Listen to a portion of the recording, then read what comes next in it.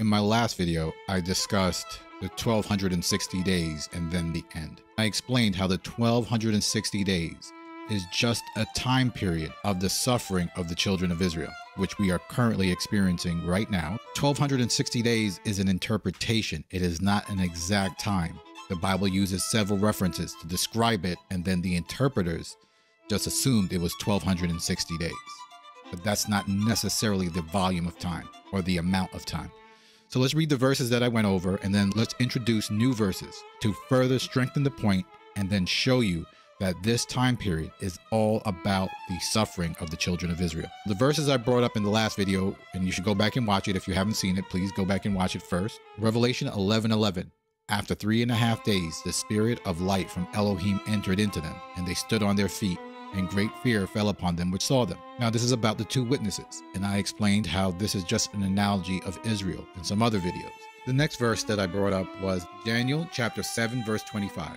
And he shall speak great words against the Most High, and shall wear out the saints of the Most High, to think to change times and laws, and they shall be given into his hand unto a time, times, and the dividing of time. This person who is the Antichrist, who's already come and gone, will wear out the saints of the Most High I showed that he belongs to the fourth beast. The fourth beast is the person in charge of wearing out the saints of the Most High.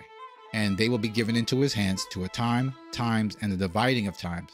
That's the same thing as in the two witnesses. Then I brought in Revelation chapter 12, 14. And to the woman were given two wings of a great eagle, that she might fly into the wilderness into her place, where she is nourished for a time, times, and half a time from the face of the serpent. This is about the woman clothed with the 12 stars.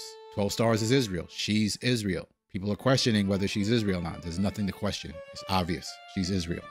The 12 stars represent the 12 tribes of Israel. The next verse that I brought up, which was also about the same woman, Revelation 12, verse 6, and the woman fled into the wilderness, where she has a place prepared of Elohim, that they should feed there 2,203 square days. Let's introduce two more verses to show that this is definitely Israel Daniel chapter 12, verse 7. And I heard the man clothed in linen, which is upon the waters of the river. And he held up his right hand and his left hand unto heaven, and swear by him that liveth forever, that it shall be for a time, times, and an half. And when he shall have accomplished to scatter the power of the holy people, all things shall be finished. When you read Daniel 11, that bleeds into chapter 12. It's the same story. It's about the Greek kingdom which bleeds right into the fourth beast. And that's why it says when he has the power to scatter the holy people. And we see that it's for a time, times, and a half, the same amount of time. And then we can bring in Revelation chapter 11, verse 2. But the court which is without the temple leave out and measure it not, for it is given to the Gentiles.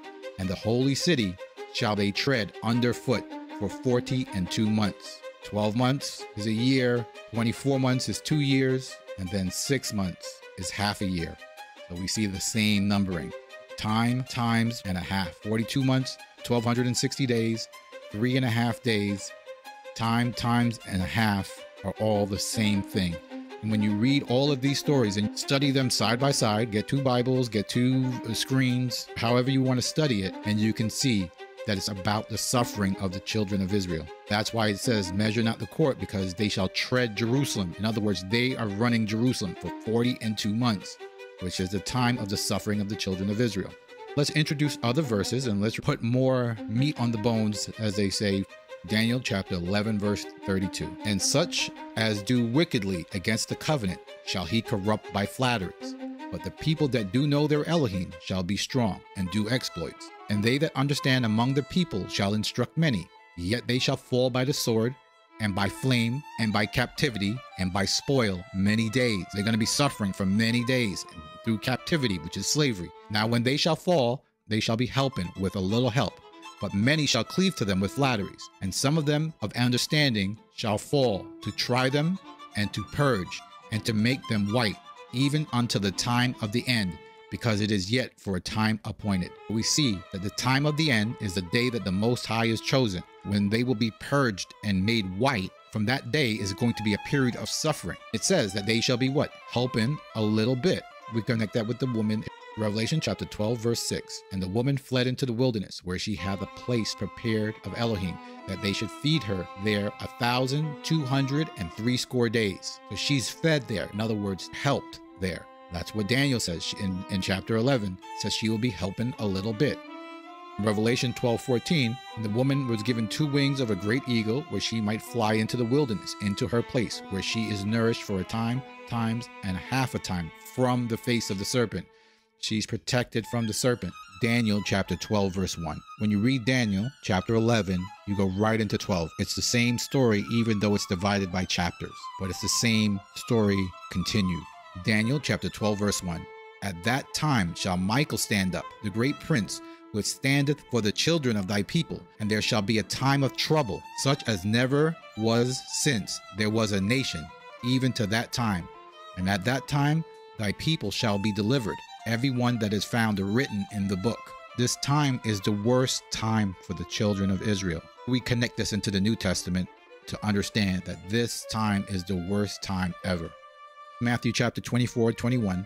For then shall be great tribulation, such as was not since the beginning of the world to this time, nor shall be. We connect that with what I just read in the book of Daniel. And at that time shall Michael stand up, the great prince which standeth for the children of thy people, and there shall be a time of trouble, such as never was since there was a nation, even at that time. We connect those two. To sum this all up, when we read the story about Daniel when the fourth beast, the woman clothed with the sun, the moon, and the stars, the two witnesses. This is all about them coming to persecute the children of Israel.